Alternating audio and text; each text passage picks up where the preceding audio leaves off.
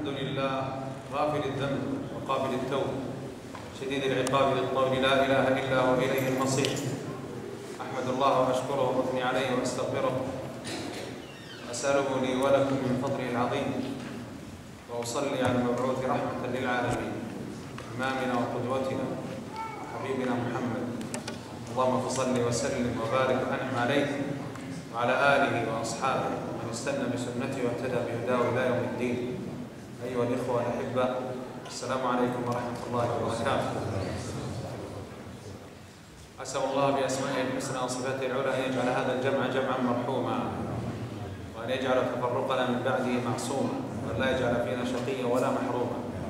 اللهم يا من جمعتنا في هذا المكان اجمعنا يوم نلقاك في ظلك يوم لا ظل الا ظلك ثم اجمعنا بعد ذلك في الجنة إخوة على سرر متقابلين. اللهم اقبل العمل واغفر الزلل. اللهم اقبل العمل واغفر الزلل. برحمتك يا أرحم الراحمين. أيها الأكارم إن من أعظم منن الله على عبده أن يغفر له وأن يتوب عليه وأن يتجاوز عن سيئاته. والله جل وعلا من أسمائه الغفور. ويقول في كتابه وإني لغفار لمن تاب وآمن وعمل صالحا ثم اهتدى.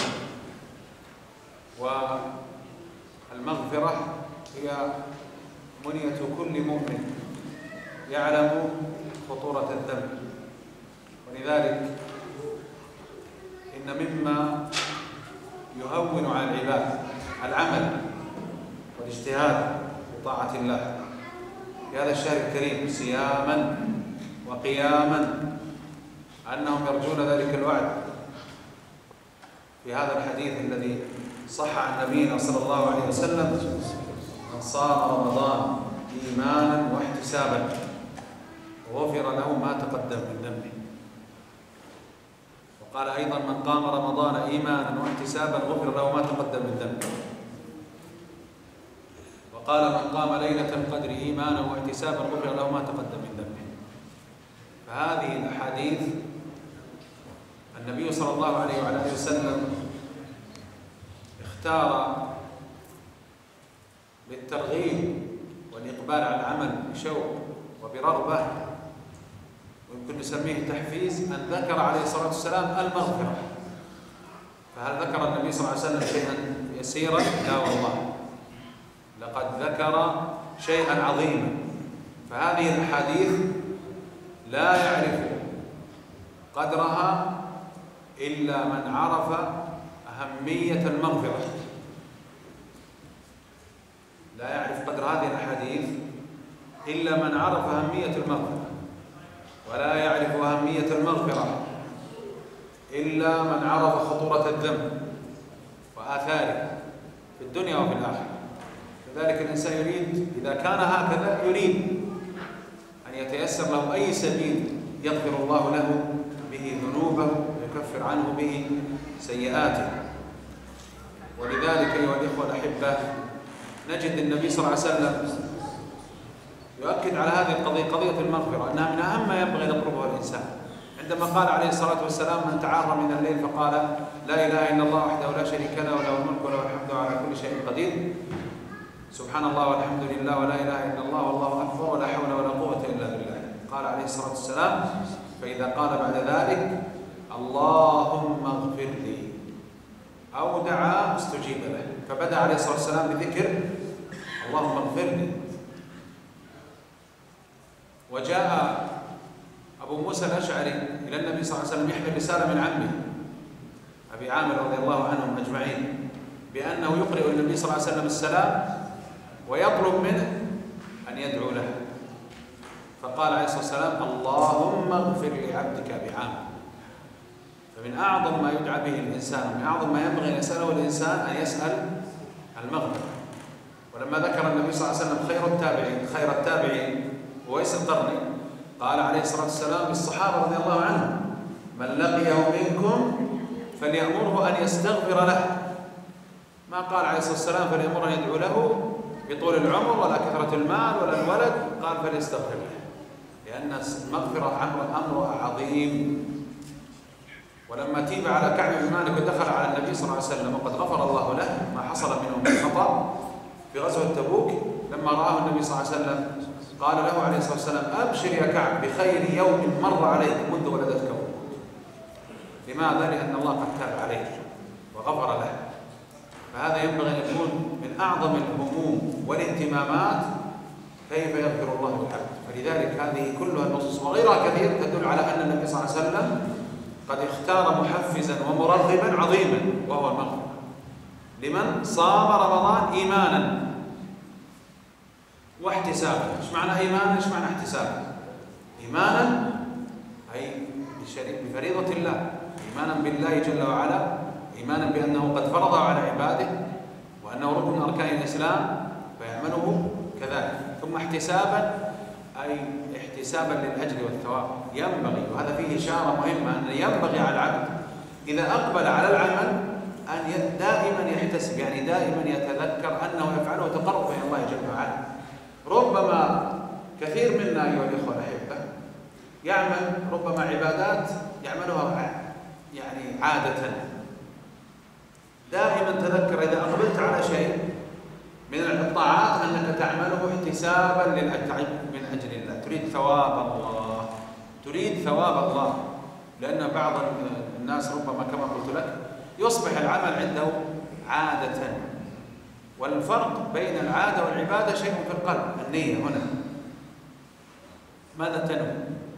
ولذلك قالوا إن مدار الإسلام أو عمل المسلم على حديثين اثنين. ولذلك قالوا هذان الحديثان هما الدين. ونصف أو أحد هذه الحديثين متعلق بالباطن وأحدهما متعلق بالظاهر. حديث إنما الأعمال بالنيات. يعني إنما الأعمال مقبولة معتبرة صحيحة بالنيات بحسب نية الإنسان. فهذا ميزان للباطل. ميزان للباطل. الأعمال بالنيات. حسب نية الإنسان وتوجهه يعطى الأجر. قد يعمل الرجلين أو يعمل الرجلان عملا واحدا في صورة واحدة وهيئة واحدة ولكن بينهما في الأجر والثواب مثل ما بين المشرق والمغرب. أحدهما يرتقي بعمل هذه في أعلى الدرجات والآخر والعياذ بالله يفسد لماذا؟ بشيء في قلوبه مع أن الصورة الظاهرة عمل واحد. فهذا فيما يتعلق بميزان الباطن. طيب الظاهر الحديث الآخر حديث عائشة رضي الله عنها يقول النبي صلى الله عليه وسلم من عمل عملا ليس عليه أمرنا فهو رد. هذه الأعمال الظاهرة. فأي عمل يعمله الإنسان ليس على وفق هدي محمد صلى الله عليه وسلم مردود على صاحبه إذا العمل إذا الشيء الباطل. إذا لم تكن نيتك لله جل وعلا رد عليك العمل وما قبلت يقول الله جل وعلا في الحديث القدسي أنا أغنى الشركاء عن الشرك. من عمل عملا أشرك معي فيه غيري تركته وشركه. وهذا فيه وعيد بأن الله يترك هذا الإنسان. نسأل الله العفو والعافية. فهذه ما يتعلق بالباطل. الظاهر كذلك ينبغي أن تكون أعمالك موزونة بميزان الهدي النبوي سنة النبي صلى الله عليه وسلم. هذه يا إخواني حقيقة أشهد أن لا إله إلا الله وأن وأشهد أن محمدا رسول الله. فأشهد أن لا إله إلا الله تعلق بإقرار القلب أولا ونطق اللسان. لكن هذا هو إخلاص العمل لله جل وعلا والتوجه له به دون غيره. أشهد أن محمدا رسول الله أيضا فيه توحيد متابعة النبي صلى الله عليه وسلم. فلا أتبع أحد ولا ولا أهتدي بهدي أحد إلا هدي محمد صلى الله عليه وعلى آله وسلم. فهذه أيها الإخوة الأحبة مسألة مهمة جدا وهي مسألة حرص الإنسان على تكفير سيئاته ومغفرة ذنوبه. والنبي صلى الله عليه وسلم عندما رغبنا وحفزنا بقوله غفر له ما تقدم من ذنبه فقد اختار أمرا عظيما ينبغي أن نحرص عليه. فنحرص على الصوم إيمانا واحتسابا. نحرص على قيام رمضان. يا عباد الله نحرص على هذا القيام حرصا عظيما حتى نحصل على هذا الأجر. ما جعل الناس والله يا إخوان الذين يعرفون قدر المغفرة يتسابقون في طاعة الله وفي الصيام في القيام إلا رجاء هذا الحديث الذي ذكره النبي صلى الله عليه وسلم. غفر له ما تقدم من ذنبه أسأل الله الذي لا إله غيره. ولا رب سواه. أن لا يحرمنا من هذا الجود. وأن يعطينا هذا الفضل وهو أرحم الراحمين ورب العالمين. فإيمانا واحتسابا. إذا أقبلت على عمل فاحتسب. كل شيء. الصحابة رضي الله عنهم تعلموا هذا حتى يقول قائلهم والله إني لا أحتسب على الله نومة إذا نمت. وقومتي. كيف؟ حتى النوم؟ قال نعم إذا نمت أجعل هذا النوم عبادة بأني أريد أن أنام لأتقوى على طاعة الله. واللقمة. شوف النبي صلى الله عليه وسلم كم الآن ننظر في عمل عمل عادي نعمله كل يوم. ما في أحد الآن مسؤول عن أسرة له وهو يتولى شؤونه فيما يتعلق بالنفقة عليه. روح الميجرو ولا إيش اسمه؟ جيب جيب جيب. كذا ولا لا؟ إحنا شغالين بس نجيب. الله يعين الجميع إن شاء الله. آمين. أحدهم يقول لزوجته أنت ما عندك شيء إلا دائم جيب جيب جيب. ما في. فجاء مرة خارج من الباب قالت له خذ أكرمكم الله كيس الزبالة. أرميه معك برا. أنت تبغى خذ نعطيك خذ ما في مشكلة. فانظر هذا العمل يوميا تقريبا كل هذا. لو خبز يا أخي. شوفوا الفرق بين واحد يحتسب وواحد خلاص. يعني اعملها عادة كل يوم. أنا وجاري ربما ما غير مسلم طبعا ولا كل الناس. لكن شوفوا المسلم لو أنه احتسب كيف يكون هذا؟ يقول النبي صلى الله عليه وسلم إنك لن تنفق نفقة تبتغي بها وجه الله إلا أجرت عليها. حتى ما تجعله في في امرأتك يعني في فمها وهذه الكلمة كلمة في فم امرأتك ربما تحمل نفس الصورة نفس العمل يعني يحمل هذا يعني من قبيل الملاطفة مع الزوجة وربما أوسع من هذا. لأن هذا الذي تضعه في فمها أنت الذي أحضرته كأنك يعني المقصود أنك تطعمها.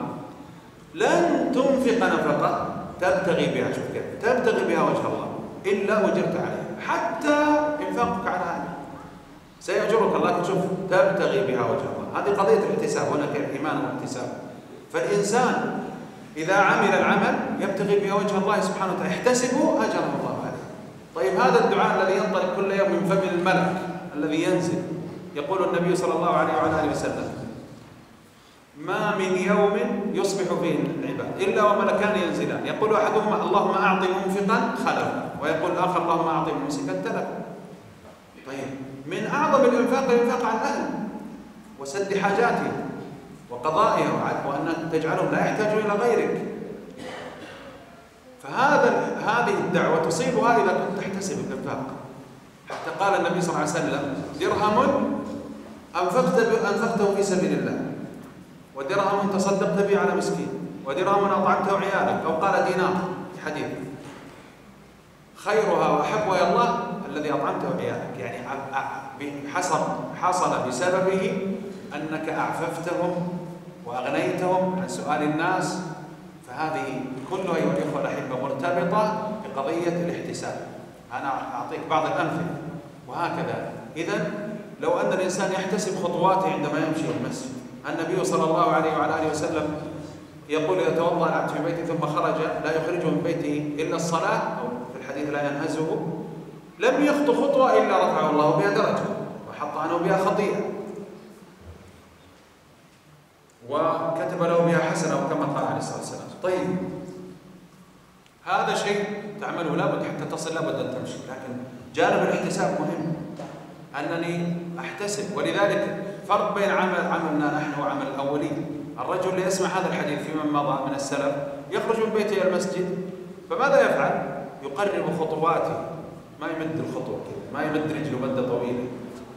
ها واضح هذا كيف؟ يعني لو كان نفرض بالعدد يحتاج من البيت إلى المسجد مثلا 200 خطوة هو بتقريب الخطوات يجعلها 300 هذا فن في إيش؟ في كسب الحسنات في رفعة الدرجات.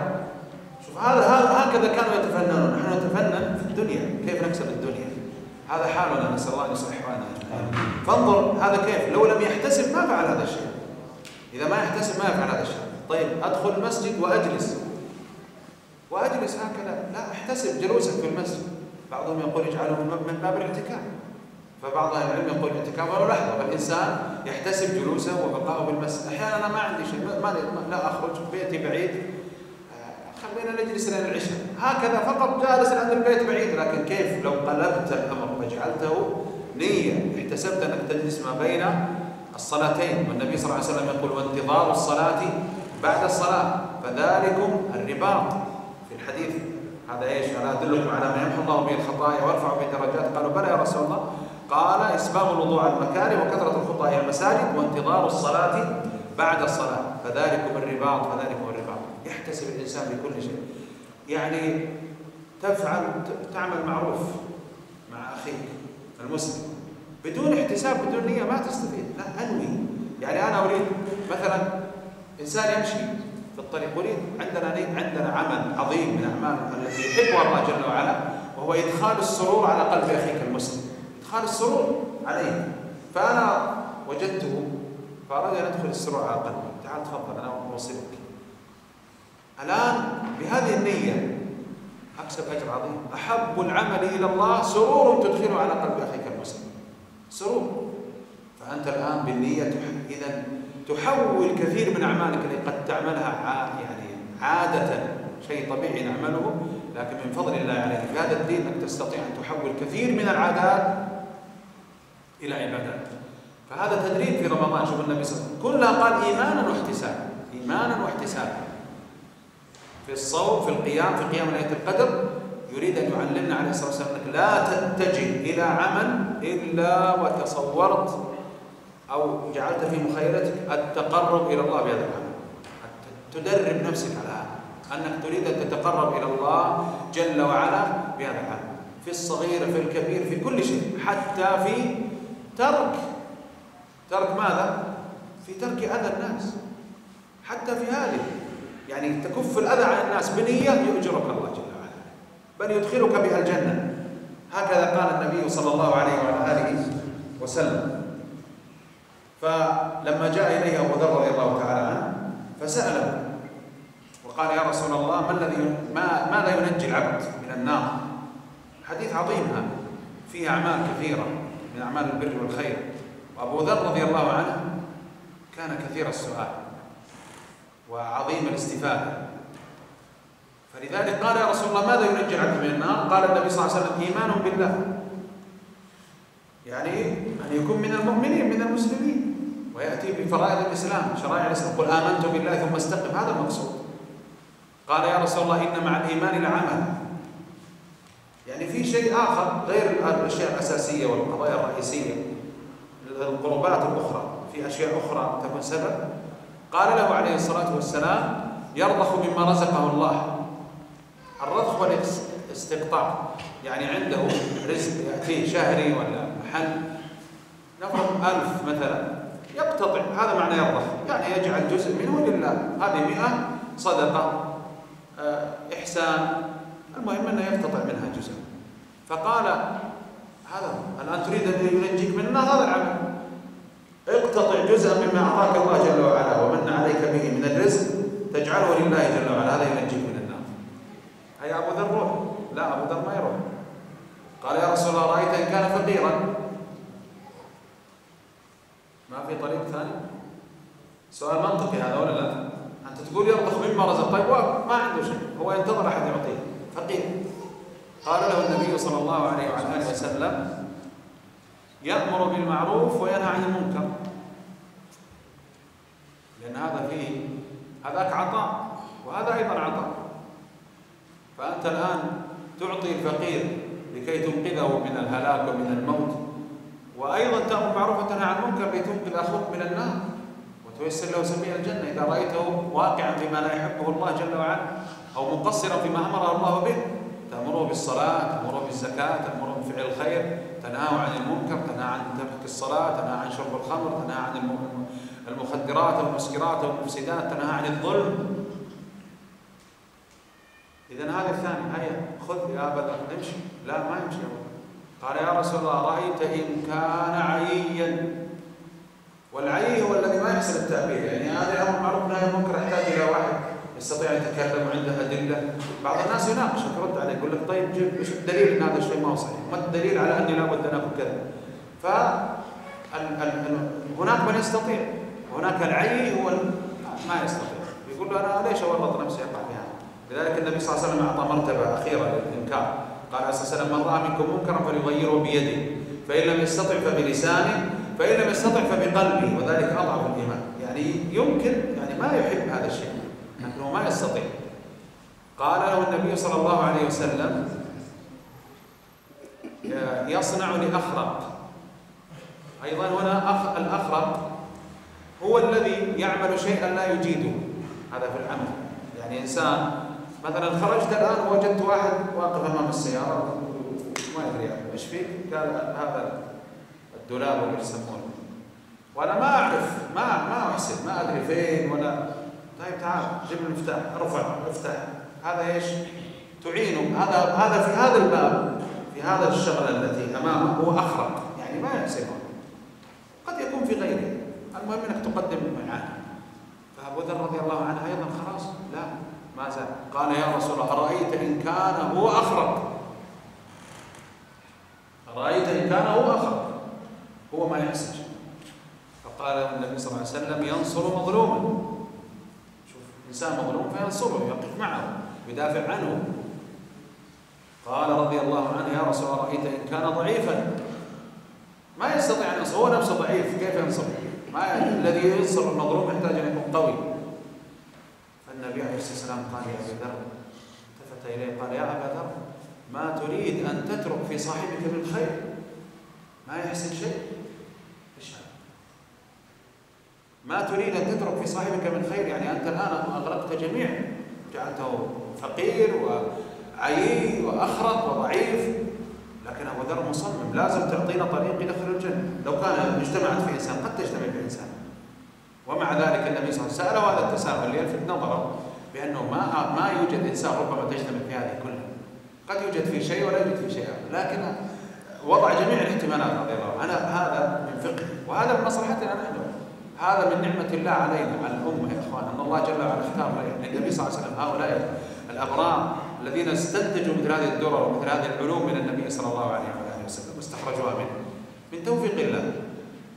مع أنه قال له هذا قال له عليه الصلاة والسلام. أما تريد أن تترك بصاحبك الخير؟ ثم قال عليه الصلاة والسلام يكف أذاه عن الناس. شوف الآن يكف أذاه عن الناس. هذا ذكرناه قلنا إيش؟ بنية. أن يكف أذاه عن الناس. بنية. يعني أنا في في خصومة سحب نفسك لا أنا أخاف. أتكلم بكلمة الآن أؤذي بها مسلم. أمد يدي على إنسان أؤذيه أنا أكف أذى عن الناس. وقد يكون الأذى باللسان قد يكون أذى من البيت. إنسان بين جيرانه وشوف النبي صلى الله عليه وسلم ما قال يكف أذى عن المسلمين قال يكف أذى عن من؟ عن الناس. لا تؤذيه.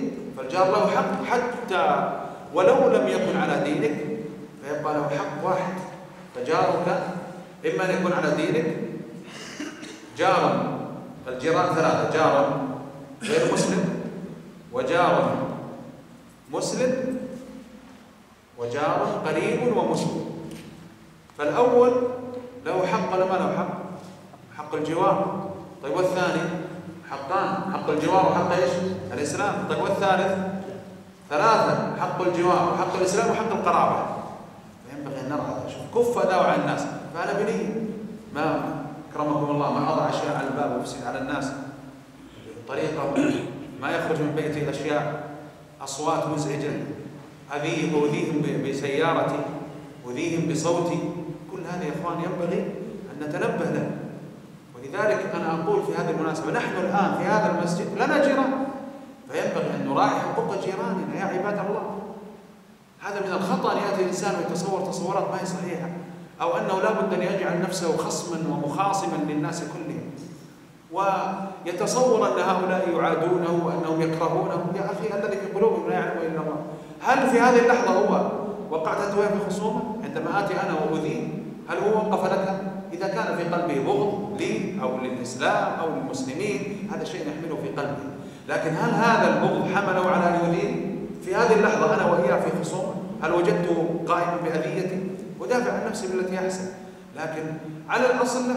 فينبغي أن نرعى الحقوق. فالنبي صلى الله عليه وسلم قال يكف أذاه عن الناس. لا تؤذي أحد. وهذا من أعظم ما يكون يا إخوان.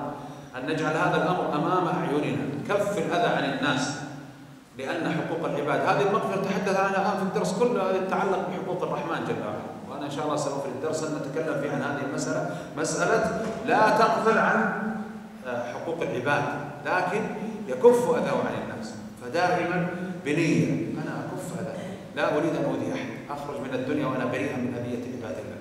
يا إخوان والله ما أذن الله لنا أن نؤذي الناس ولو بإدخال الحزن على قلوبهم والهم على صدورهم. ما يجوز. ما يجوز تؤذي المسلم بأن تحزنه. يعني تجعل تغضبه وتجعله يحمل على في قلبه حزن أو هم. فكيف ما هو فوق ذلك؟ إذا كنتم ثلاثة ثلاثة إذا كنتم ثلاثة فلا يتناجى اثنان دون الثالث. شو معنى المناجاة؟ تكلموا فيما بينهم همسا. ها؟ ولا قحطاني هذا ما يعرف فرنسي. اثنين راكبين يتعرفوا الفرنسي ويعرفوا عربي يتكلموا فرنسي وأنا جالس. يتكلموا عربي. هذا من المناجاة لأن أنا لا أعرف ماذا يقولون. فالنبي عليه الصلاة والسلام يقول فلا إذا كنتم ثلاثة لا يتناجى اثنان دون الثالث. طيب ليه؟ لماذا؟ شوفوا السبب. قال لأن ذلك يحزنهم فالنبي عليه الصلاة والسلام ما يريد أن تدخلون الحزن لأنه مهما يعني سيدخل على قلبه الحزن لماذا؟ يعني؟ أنا ماني لست أهلا أن أعرف ماذا يتكلمون فيه أو ربما يظنهم يتآمرون عليه أو ما إلى ذلك. فهذا كله حتى لا تدخل الحزن فإذا كان هذا الأمر اللي هو أيسر شيء ممنوع فكيف ما فوق؟ يكف أذاه عن الناس. لكن كما قلت بنية. طيب. أبو ذر رجع يسأل حديث في فائدة. قال يا رسول الله إن هو فعل دخل الجنة أن السؤال في الأول قال ماذا ينجي العبد من النار يريد أن يؤكد الآن إن هو فعل دخل الجنة قال له حبيبنا صلى الله عليه وسلم ما من عامل منكم يعمل بخصلة من هذه الخصال اللي هي إيش؟ أربعة ولا خمسة؟ كم؟ خمسة ما هي أربعة ولا لا؟ يرضخ ما رزقه الله يأمر بالمعروف ينهى عن المنكر يعينه يصنع الأخرى والأخيرة إيش؟ ينصر مظلوما هذه أربعة هذه فعل هذه أنت تقدم للناس. فهذا الرجل ما عنده شيء. كما قال النبي صلى الله عليه وسلم ما تريد أن ترك صاحبك الخير يعني هو ما يستطيع أن يقدم الآخرين شيء. لا يعطيهم ولا يعينهم ولا ينصرهم. شوف الآن جاءت القضية إيش؟ عكسية الآن. أنت ما تستطيع أن تبذل وتقدم ماذا قال؟ كف إذا أنت الآن امنع نفسك. إذا لم تستطع أن تقدم لهم خيرا فلا تفعل لهم إيش؟ شرا لا تفعل لهم آه، خطأ. فقال له كف هذه هذه هذه ما تستطيع ما تستطيع كف نفسك تمسك يديك تمسك لسانك تمسك رجليك تمسك تستطيع. فهذه الخامسة يكف أذاه عن الناس. ما من عامل منكم يعمل بخصلة من هذه الخصال واحدة إلا أخذت بيده حتى تدخله الجنة. نسأل الله التوفيق. فانظر أنت ما حظك من هذه الخصال.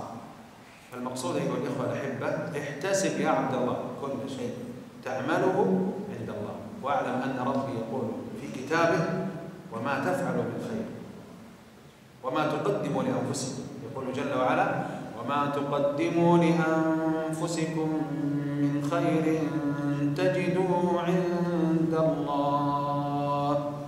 وما تقدموا لأنفسكم من خير تجدوه عند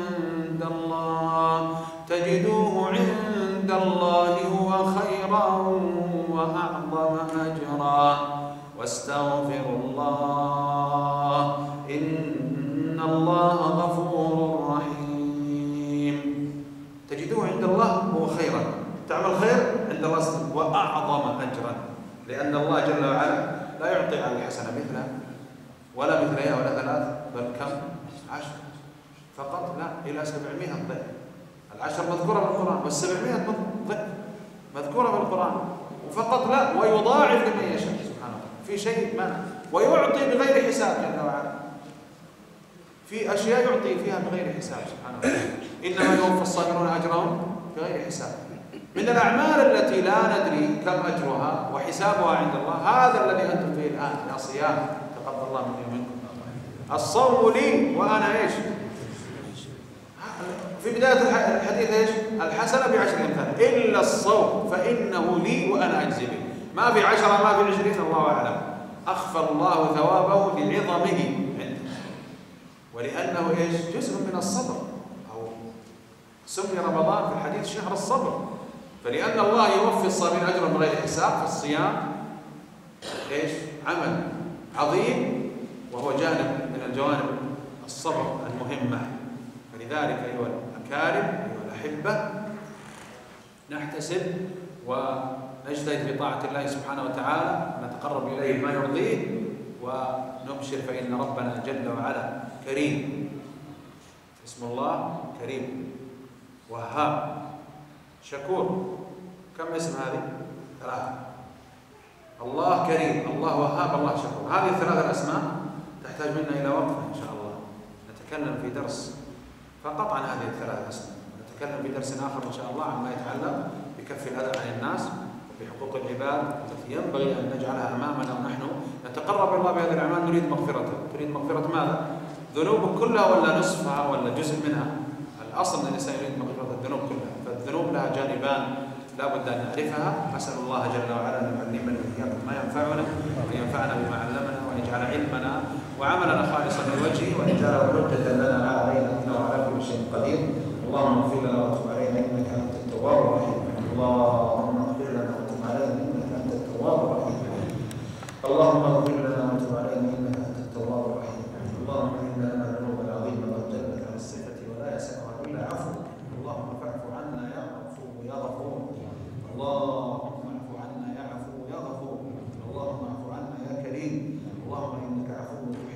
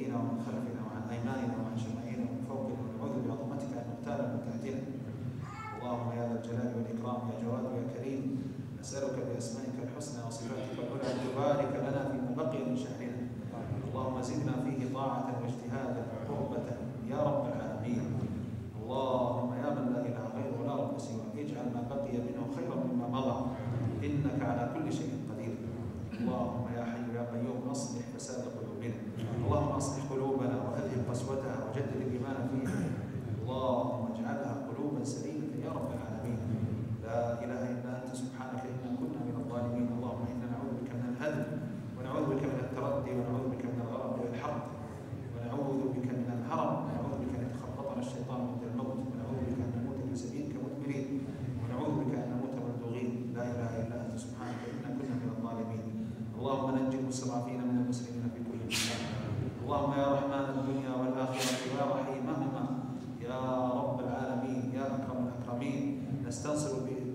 بك لإخواننا المسلمين المستضعفين في بلاد الشام وفي سوريا وفلسطين اللهم اشتد بهم الحصار.